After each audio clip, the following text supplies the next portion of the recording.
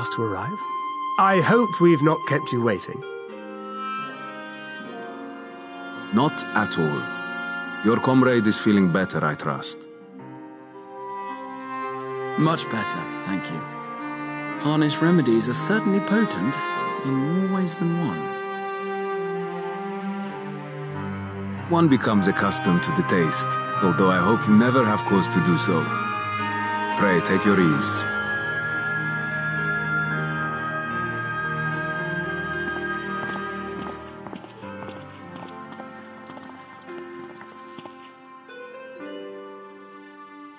Full glad I am to see you all unharmed.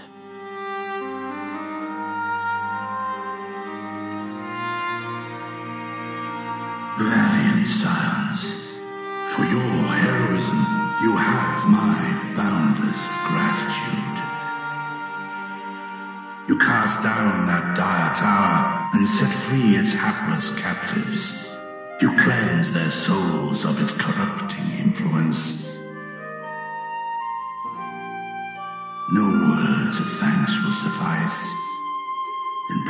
platitudes, I offer a bounty of warding scales. Pray accept your due reward, along with the goodwill of Radz-at-Han. Alchemists throughout the land were put to work in the forging of your talismans. The finished ones have been collected, and now await you at the High Crucible of Alchemia. Present this letter when you are ready to take them into your possession.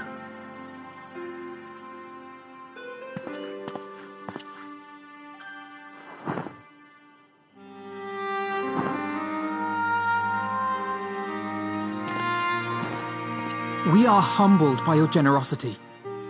Know that the inventive wisdom of Radz-at-Han will be vital in restoring serenity to our star. Every single one of those scales came from you, didn't they? You must still be in such pain.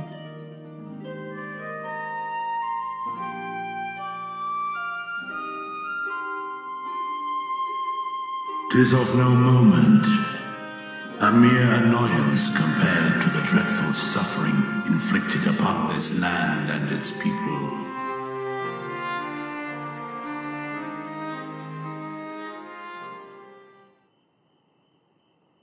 Albeit brief.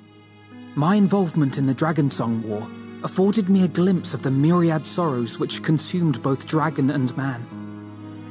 Though you were half a world away, such tragedies as befell your kin must have affected you deeply.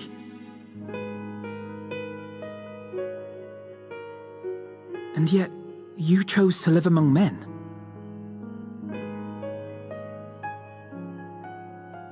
In the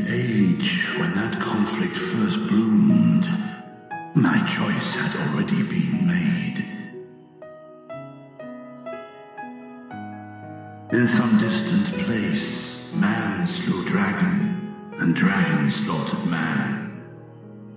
Yet no hate could I muster for those smiling faces which did look to me for guidance.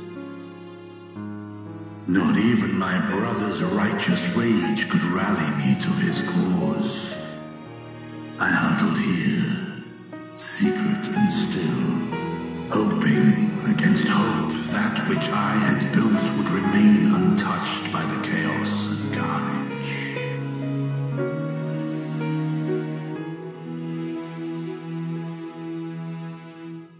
Twould seem we share the same desire for peace, great Vritra. To that end, I wonder if we might trouble you with another question. The Telophoroi are intent on recreating the final days, an apocalyptic event which we know to predate the sundering of the star. As the longest lived among us, know you aught of this terrible cataclysm?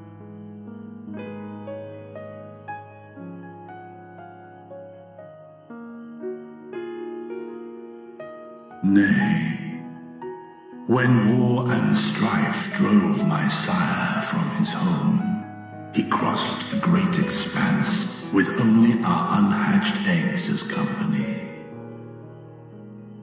He alighted upon a shattered source, its thirteen reflections long since scattered beyond the rift. Of events preceding his arrival, he knoweth naught, save that which Hydaelyn hath deigned to disclose. I see. So again, 'tis the inscrutable Hydaelyn to whom you must look for answers.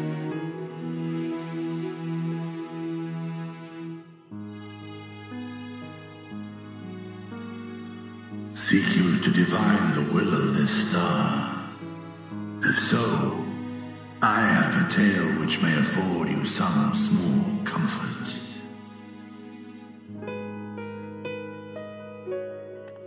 Tis a story from my youth, many, many years ago.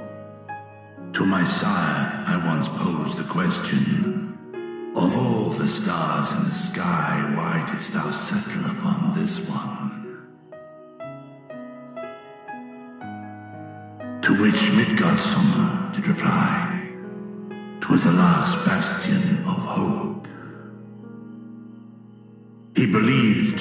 long as Hydaelyn endured, so too might dragonkind.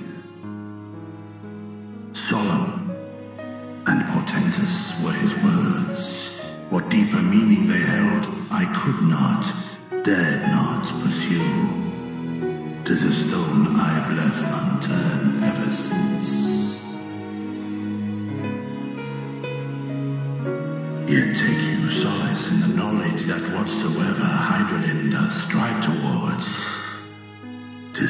ideal which hath earned my sire's conviction.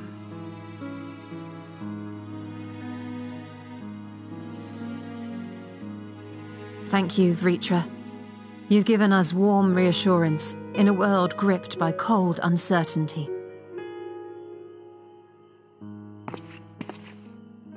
While I'm sure we all have a great many questions, I think it's time we collect the talismans and be on our way.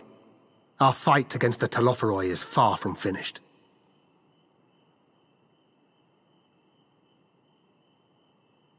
We must take our leave, but please do inform us if we can provide any further assistance.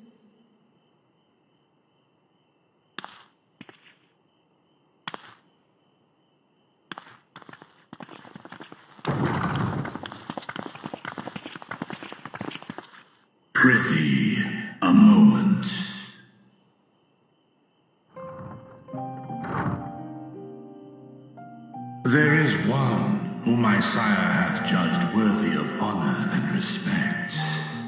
The one known to men as Eorzea's champion. This hero of renown and rumor,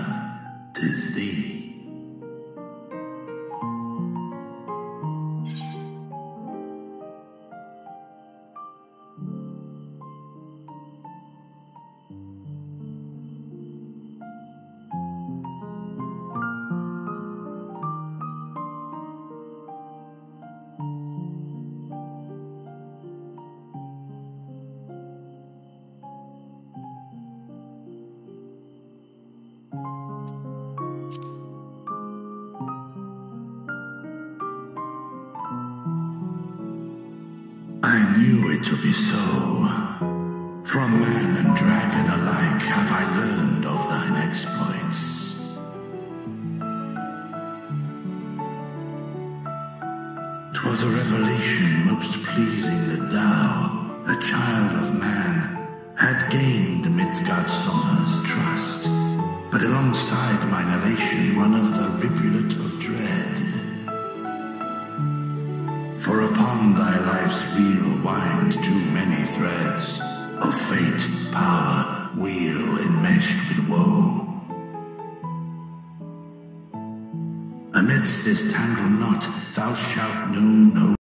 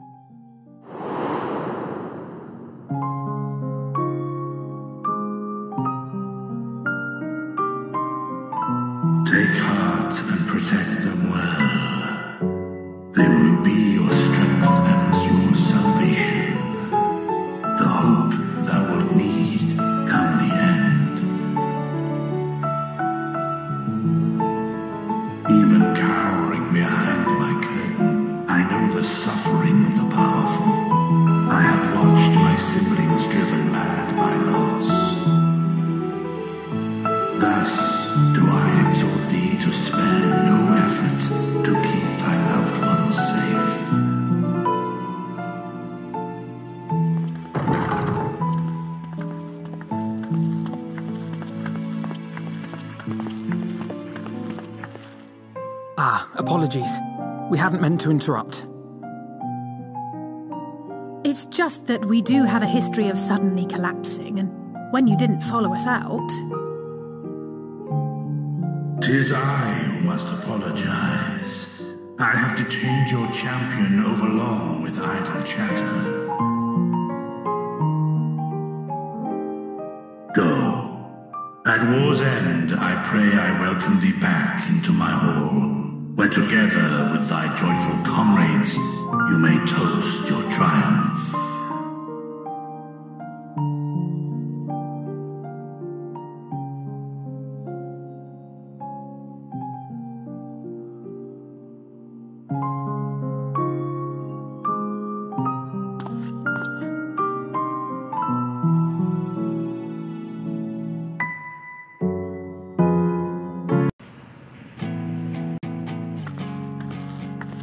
These are the talismans we were promised. Yes, and I made a quick count. There are far more than we could have hoped for. Enough to outfit an entire company of soldiers, in fact. Considering the involved process, that they were able to manufacture so many in such a short span of time is nothing short of a miracle. Once we have distributed them to our allies in Eorzea and the Far East, we'll have a fighting chance to bring down the other spires, just as we did with the Tower of Zot.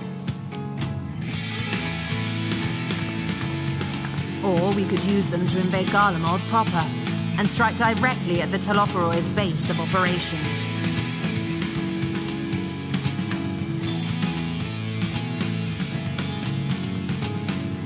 Course, we would need to consult with various Alliance leaders before such a drastic measure could even be contemplated.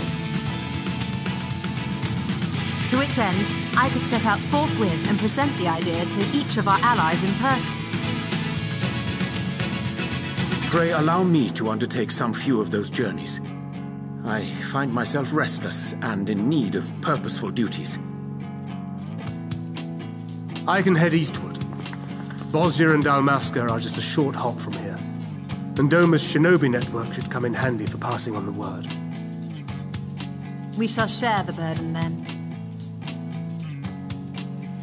Meanwhile, I think it best that you and the others take the talismans back to the Baldesion Annex. We must keep them safe and secure until we've decided upon a course of action.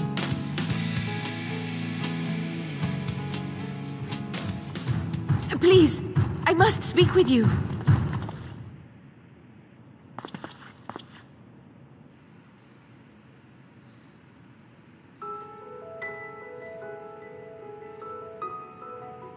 Nidana, you're awake.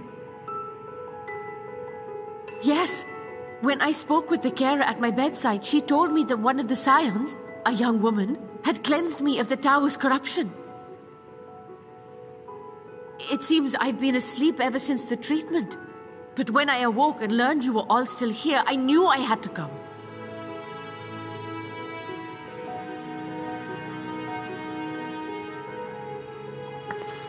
As you said, Nidana was captured only recently.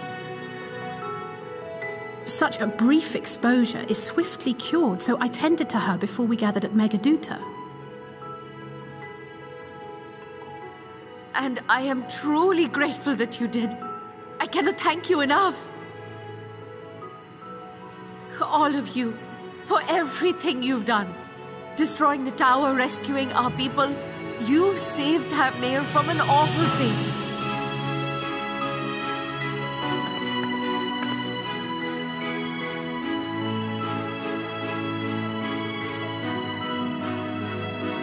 Yet who hath truly saved whom? Due in no small part to thine inspirational courage, the alchemists were successful in reproducing warding scales of proven efficacy. Replications of thy work now stand ready to travel across the seas unto the hands of those who might wield them against this rising evil. The talisman? Is this true?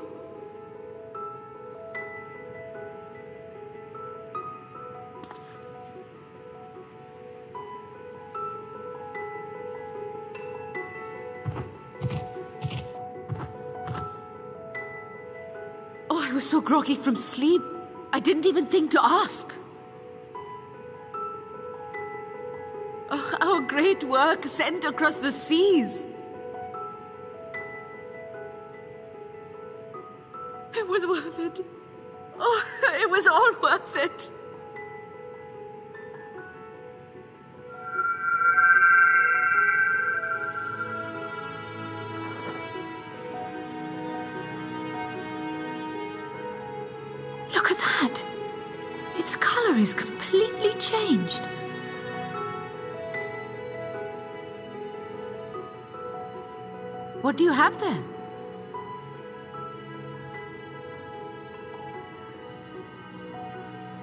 Unusual. I wonder if the effect is a reaction to Akasha. I'm afraid I'm not familiar with that term. Akasha? It is one of the unseen energies defined by Hannish alchemical theory. Though a gross oversimplification, some describe it as an essence influenced by feelings. You imply that it is distinct from ether. As foreign scholars often conflate the two, but we see them as separate concepts. Ether is an energy which permeates the land. It exists within animals, objects, even the air we breathe, affecting all through which it flows. Akasha, on the other hand, exists in a domain beyond our reach. A gift bestowed from on high or torn from the heavens in some traditions. Akasha can neither be created nor destroyed. It is beyond our power to purposefully alter or manipulate. The only thing observed to influence it is an abundance of, I want to say, spiritual emotion. As a veteran of the battlefield, surely you've experienced moments of desperation or exaltation when you've transcended the usual limits of your capabilities. That is a manifestation of Akasha, the invisible essence harnessed by heart, mind, and unyielding spirit. I really must hear more about this theory. Our disciplines are based entirely upon the idea that ether is the fundamental form of all energy. I'm glad my haphazard explanation has piqued your interest. But even for us, Akasha is a somewhat abstract field of study. A lack of practical application lends itself poorly to formalized research. Which is why my analysis of your flower can amount to little more than idle speculation. I am sorry. Nonsense! You have nothing to be sorry for. Your insight is much appreciated.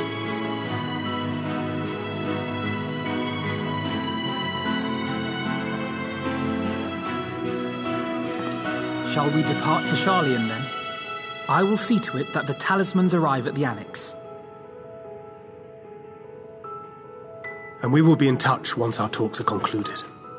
I suggest you rest while you can. From here onward, sleep is bound to be in short supply.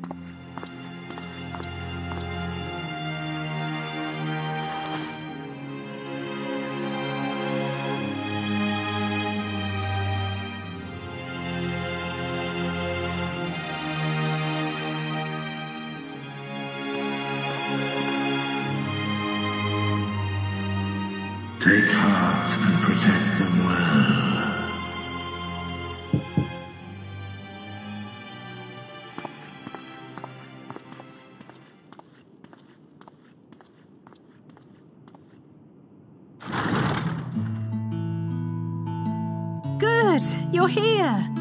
You haven't eaten yet, have you? We've bought quite a spread if you're interested. Only the finest dining from the last stand.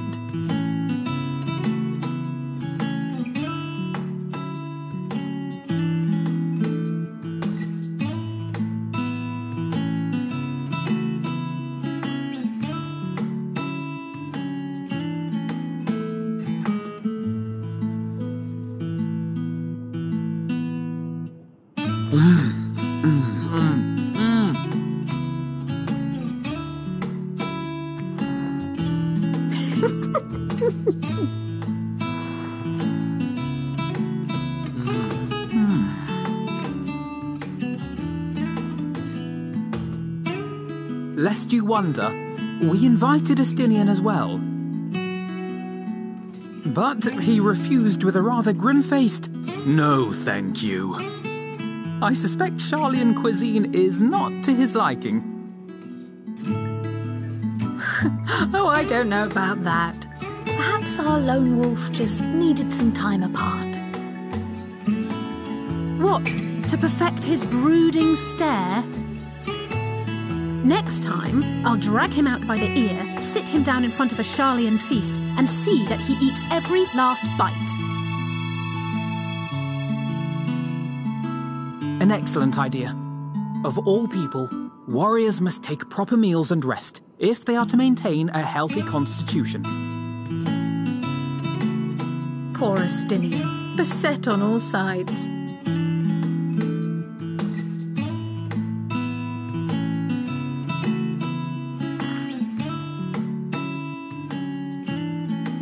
Speaking of one's physical condition, Mistress Krile, I hear you recently played literal host to Hydaelyn herself.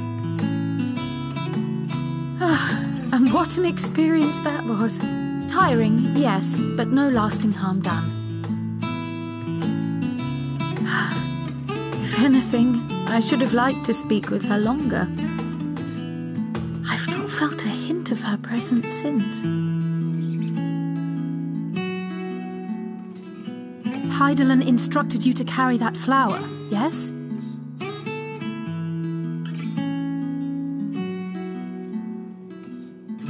Twill be your guide, test and proof of your conviction. And then something about seeking joy in darkness, was it? Come to think of it, isn't that what happened with Nidana back in Radz-at-Han?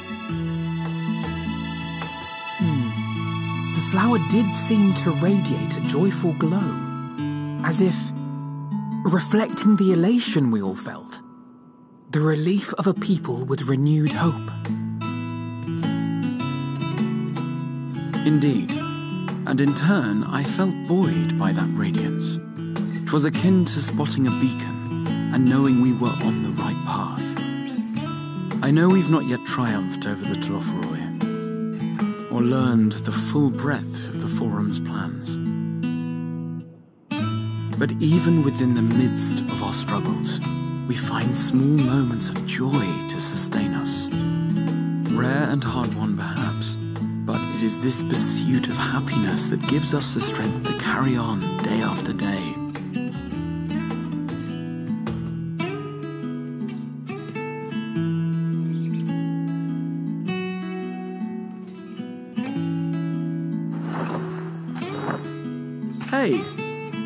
That's mine. To the swift the spoils. Though I recall that levitation spell of yours was quick enough. Mm, only barely. And even at my best, I'm still too slow to wield it effectively in battle. Mayhap I simply require more practice with this new magic. You unearthed it from the depths of Noumenon, I presume. From a veritable mountain of arcane tomes at that. 'Twas necessary to facilitate my solitary explorations. Or, to put it simply, you used it to sneak around the Forbidden Archives. Uh, I. y- yes, well, after a fashion.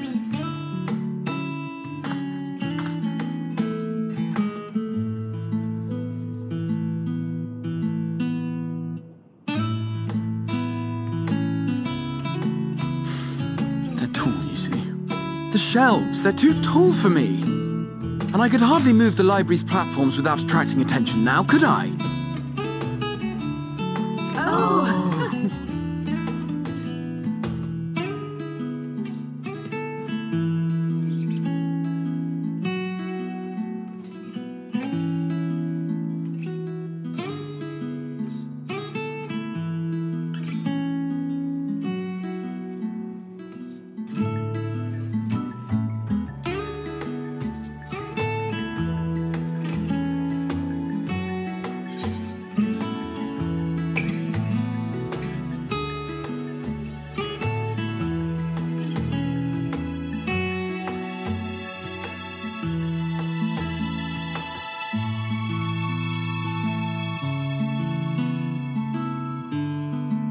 I'm not that ambitious.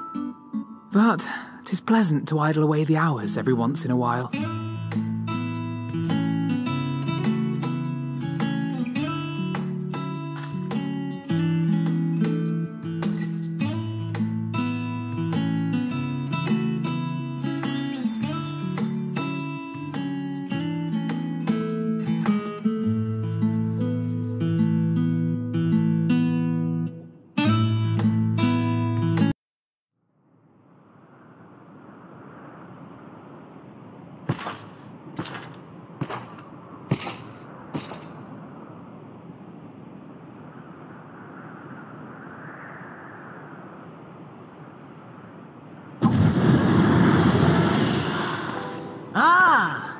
Enjoying the bracing cold, I see. Do you not own a warm coat or a cloak? Something in fur? Or fashioned from the skins of your enemies? Or. Well, never mind that. I come to you once more as the bearer of bad news. Our tower in Thavnair has been toppled and I need not tell you by whom. Given how many we have at our disposal, the loss of a single spire is hardly fatal to our plans. It does, however, slow the rate at which we siphon the ether. If they continue to preoccupy themselves with the towers, then all will be well. But should our foe prove bold enough to strike at us here, then the timing becomes questionable.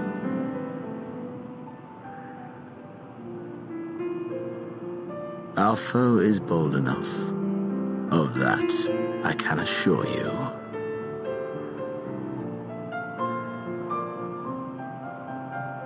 Ah, yes, very well then. I suppose I must prepare a proper welcome. Honestly, talk of your nemesis is the only thing you seem to enjoy. Does nothing else spark your interest? Hmm. No. All else is equal. Equally tedious equally disappointing. The world is a tepid bog into which we sink, too weak to thrash as the mud clings to our eyes and fills our throats till we blissfully choke. But then came the light, blinding and pure and hot, so very hot, enough to set my soul aflame. I basked in the afterglow until the void yawned once more. And then I knew the muck would never claim me again. There was naught for me ahead, so I drew the curtain on all that had come before.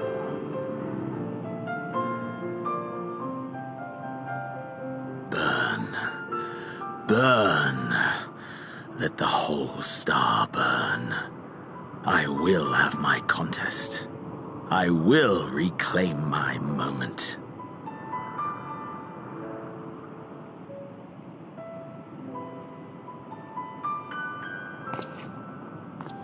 How wonderful that the emptiness of death has not dissuaded you from committing your life to its pursuit once more.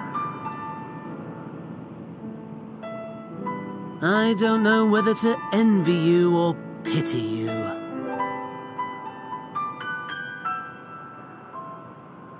You question my disinterest, but what of yours? Despite your noisome antics, I sense you take little pleasure in this endeavor. Mercy, my lord. Such pointed barbs from one who barely acknowledges my existence. Nevertheless, you are mistaken. For I do find this part somewhat enjoyable. You see, when I was mortal, I would always have the same dream. It was a fragmented thing, disjointed, all the faces incomplete. The setting, too, was unknown to me, so I thought it simply a fantasy of my sleeping mind. Until one day, I realized it was showing me the truth. Much as your dream of the final days enlightened you.